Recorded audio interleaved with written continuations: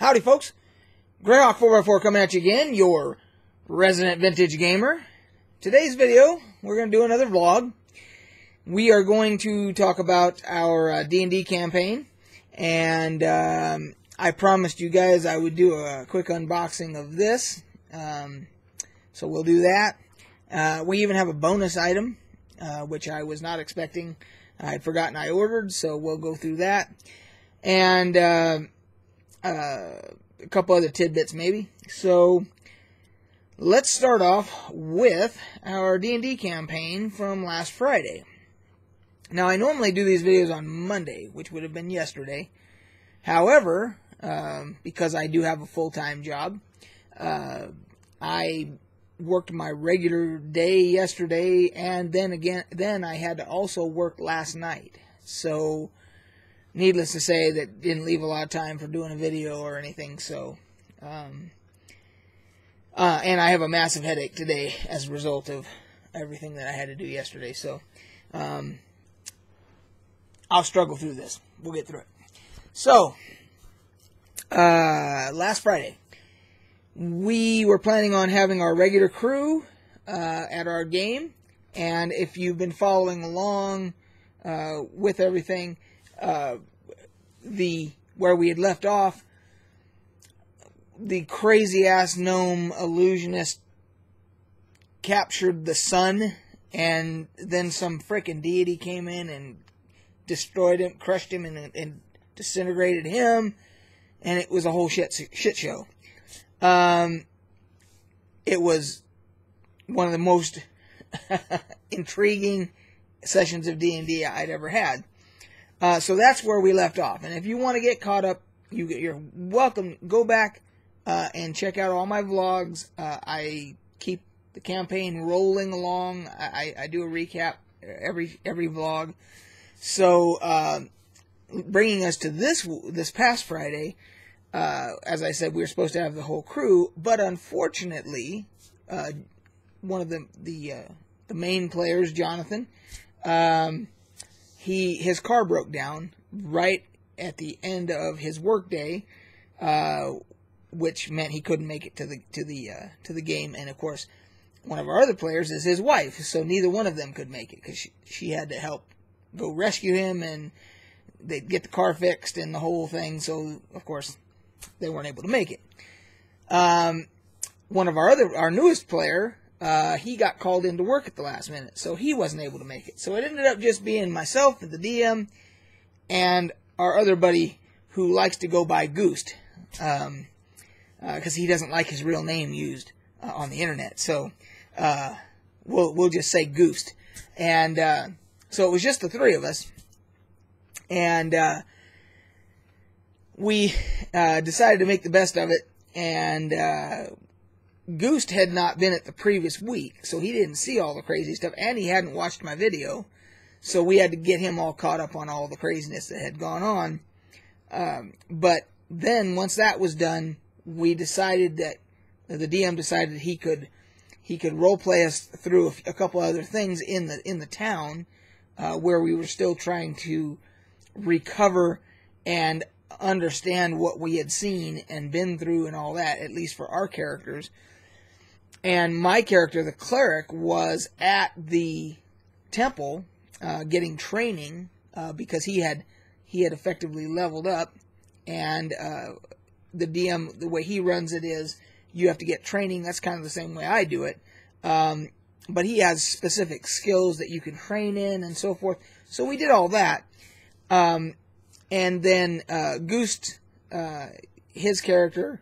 Um, had a little bit of role playing that had to be done where uh, he comes from a very wealthy, his character comes from a very wealthy family, and his mother dotes on him, and so she's been uh, sending gifts to him uh, to try and help him in his adventuring because she's worried about him.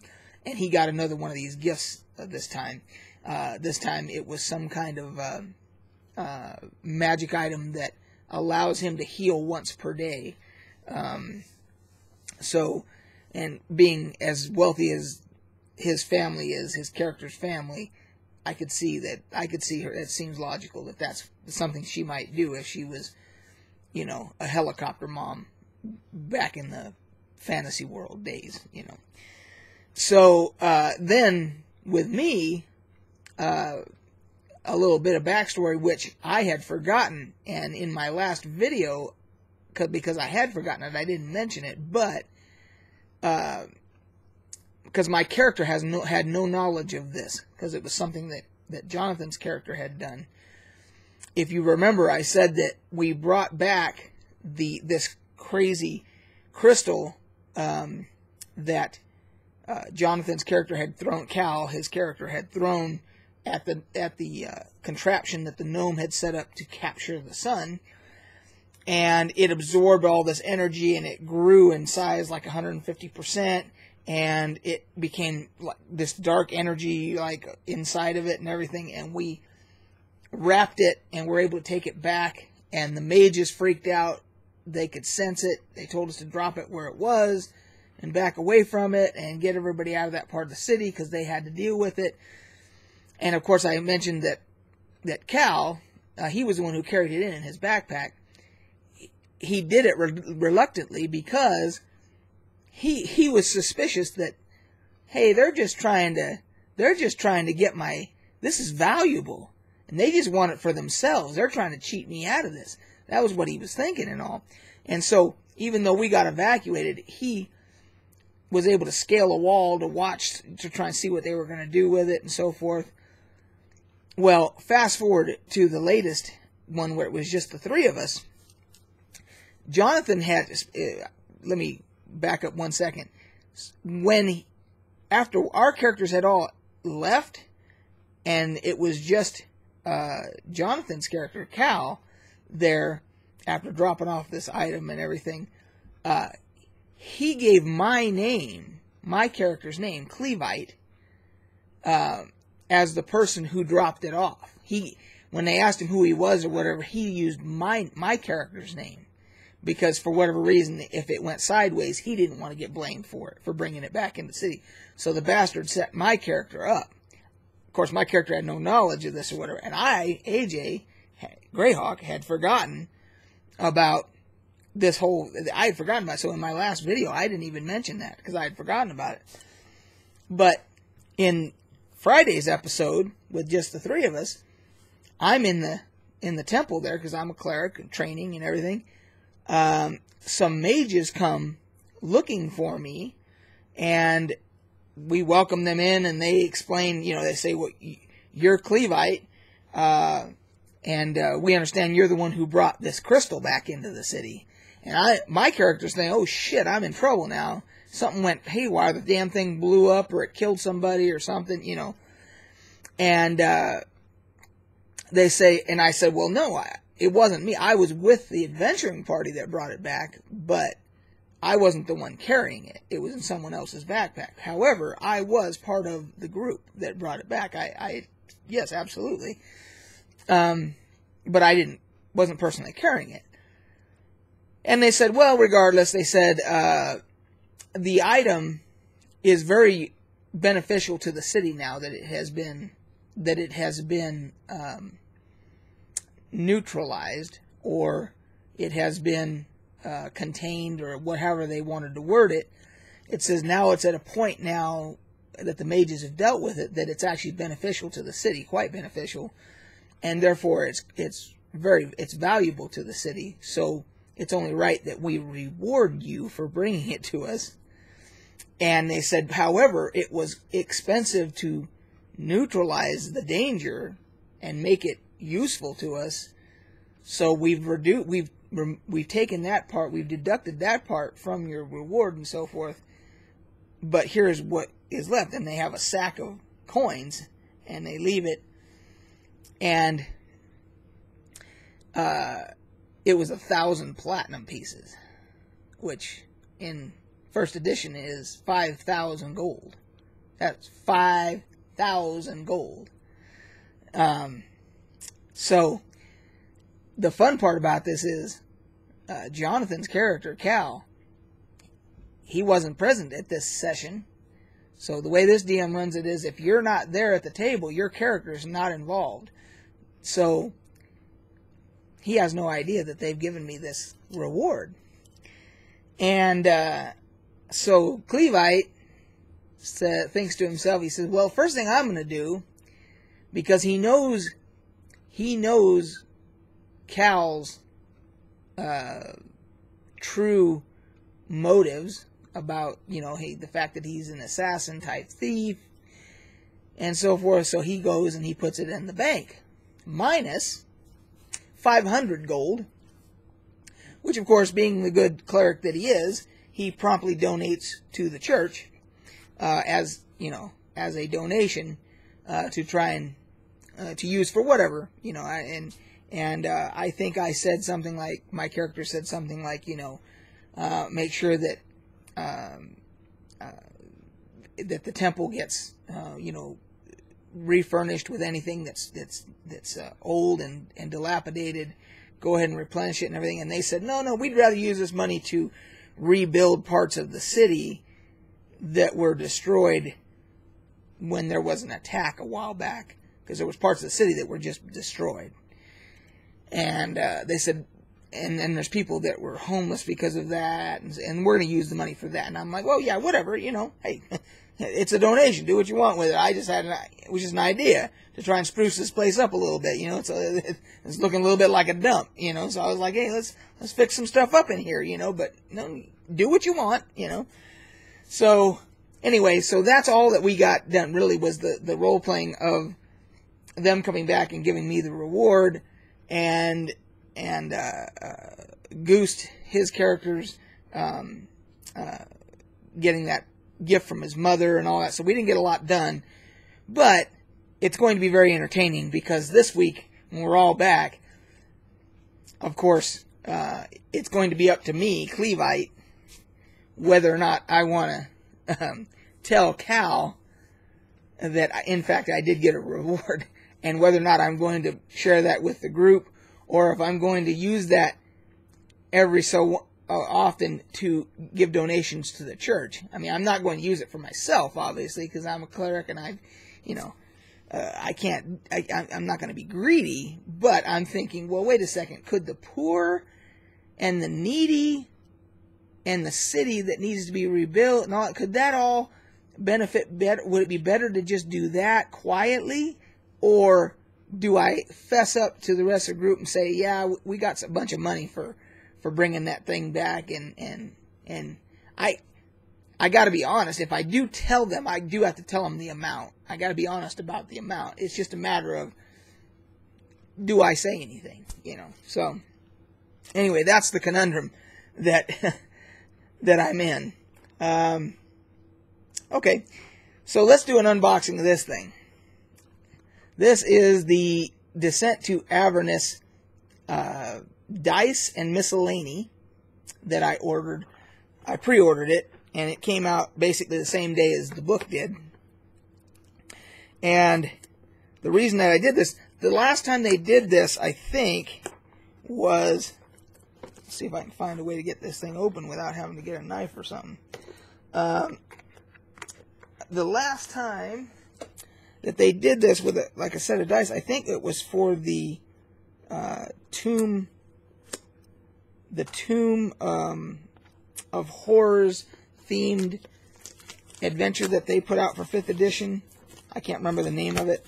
And there was a little box of dice that came with it or you could order, you could get them separately. Um, but it was it was supposed to be for that expansion, you know, or that adventure, and those were terrible. Um, that was not worth at all what you know what you paid for that set of dice. It was just a basic set of dice in a tin, you know. Um, so we'll see what this one, we'll see what this uh, is all about here, because this has extra stuff in it. So that was why I went ahead and decided to purchase it. So, first off, so the packaging is pretty nice. It comes out of this plastic sleeve like that, um, and then you have you have this, which which is left, and just a little cover that comes off, and then you have your dice, which are all on this tray here. And what was weird about this is when I got it, I started reading up, you know, on the back of it, you know, what's included. And this is an 11 piece, uh, sorry, 11 piece set of dice, which is weird because uh, as an old school uh, gamer, uh, the original sets were you got a 20, you got a 4, you got a 4, a 6, an 8, a 12, and a 20.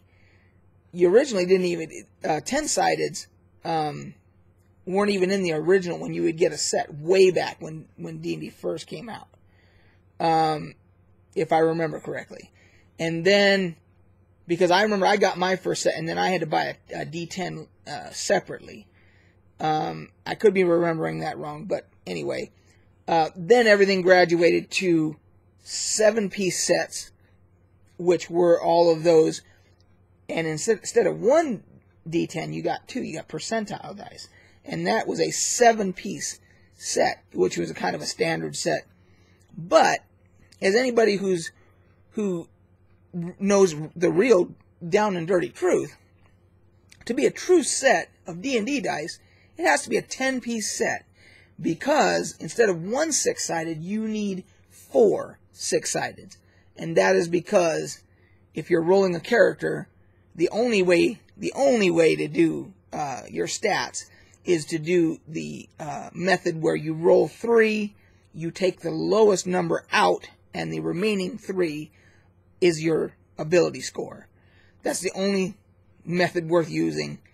Uh, it's the proper method in my book. That's why all proper sets of dice have 10 pieces because you get the four d6s. Now, having said all of that, so you have 7 and 10, that's the standard sets. You have 7 piece, 10 piece. That's it. This is an 11 piece. For some reason, they give you two d20s, identical. They're identical d20s, and for some reason they have decided that with this particular box, it's going to be an 11 piece set with two d20s. I don't know why. I would have been completely satisfied with it being a 10 piece set because you do get the four, uh, the four d6s, you know, and uh, these are your basic um, dice. I got a set at Gary Con the last time I went um, that were pretty cool, and they were fifth edition themed. And the D20 was um, larger than the other. All the other dice were similar in size, except the D20 was a little bit larger, and the 20. See if it's on here. See, this just says 20, but the one that I have um, actually has the ampersand, uh, the logo, the D and D logo, as the 20. So that's actually one of my favorite sets now.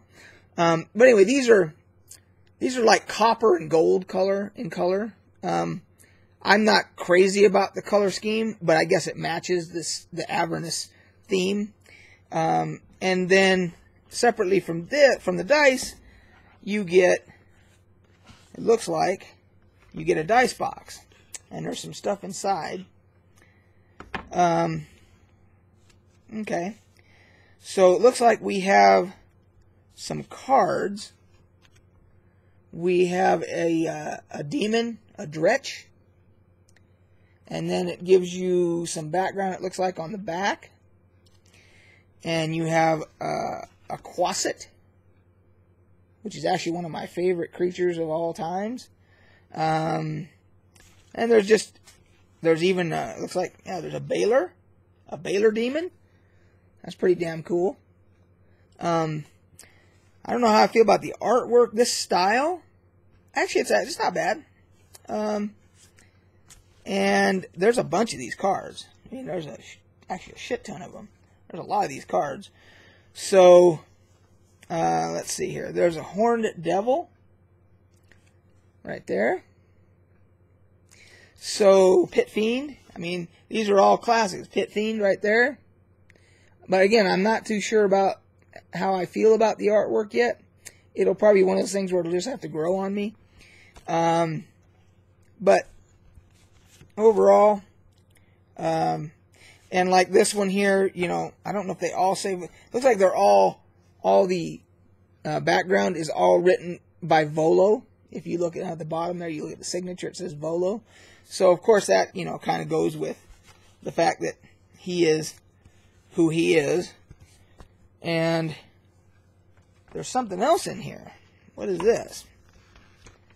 Oh, this is some kind of map. It's a map of Avernus.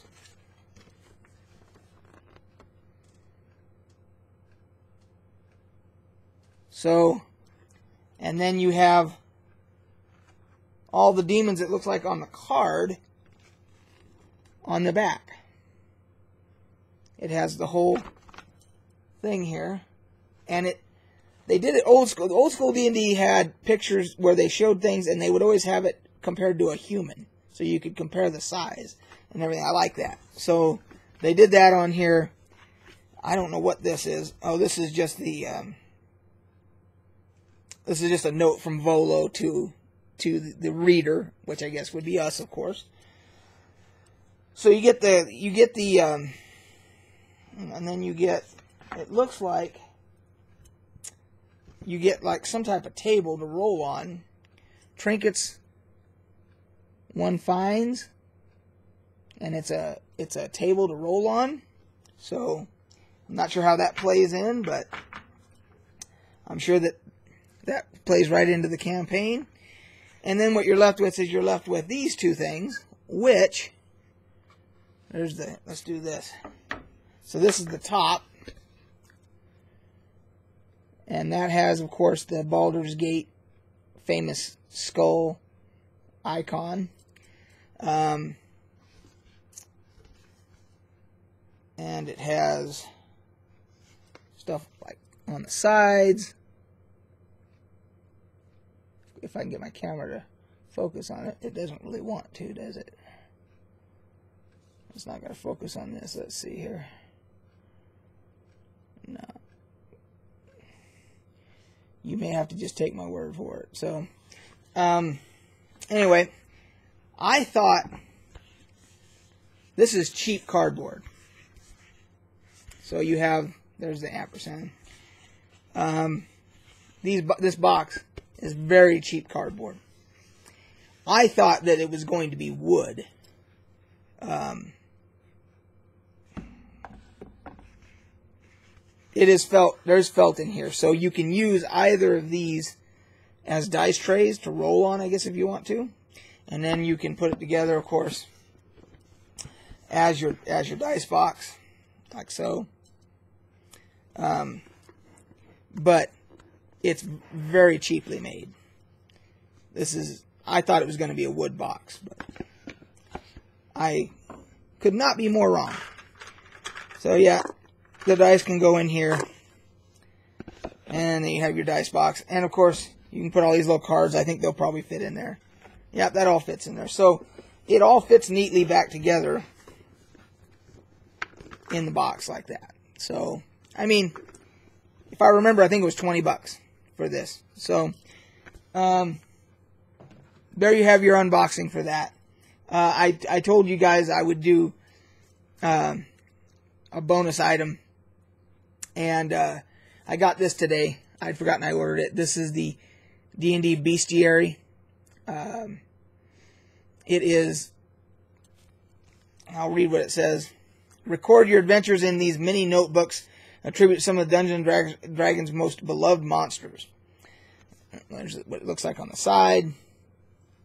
And what this is. Now, when I got this, there was no plastic covering this, which I find very odd. I got it from Amazon. It came in the mail in an envelope. There's no plastic covering this, which I think is horseshit. I'm pretty sure that if you buy this in a game store, there's going to be a plastic covering because there's nothing stopping somebody from just doing this and taking one of the notebooks out and putting it in their pocket or something, or scribbling in it, you know, screwing with it somehow. I can't imagine that there's not, you know, shrink wrap that's supposed to be over this. So, who knows? But anyway, so this little guy comes, this little slip thing comes off. It has some artwork on there. It shows you what they look like. But my camera just does not want to focus on anything today at all. Let's do that and then see if we can get it to. No, my camera says, screw you, we're not going to focus. So, I know I'm not the only YouTuber that struggles with getting their cameras to That's about as good as it's going to get right there. Um, but anyway, so there's eight little notebooks in here, and these are not what I expected. Again, um, when I read the description on Amazon, this is what you get eight of these. You get eight little guys like this, and I mean they're little. And there's two. These this one's a graph paper one, so this one has graph paper. There's two with graph paper, two with dots, um, two lined, you know, like notebook lined, and then two blank, like for sketching or whatever. And each one is a different. Here's the Mind Flayer one, right here.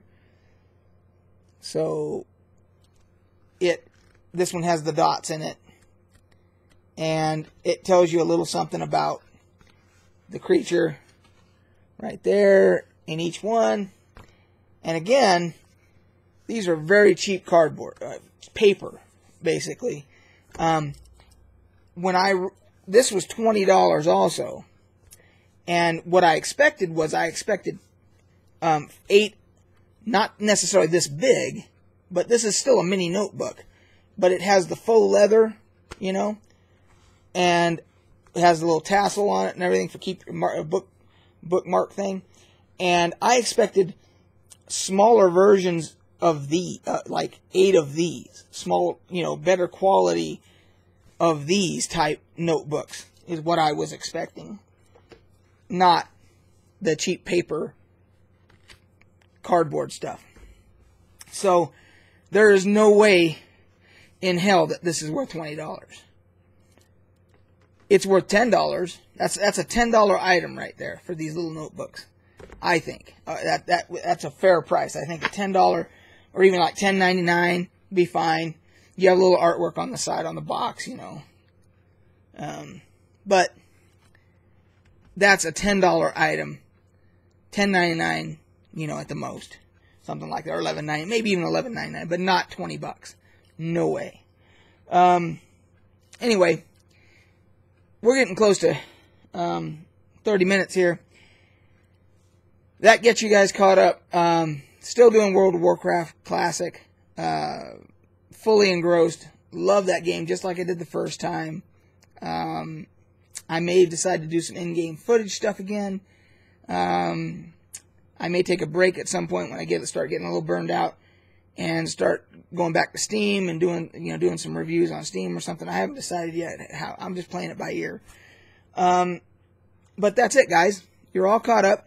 Uh, tell me what you think below. Click like, all that good stuff, and we'll catch you on the flip side.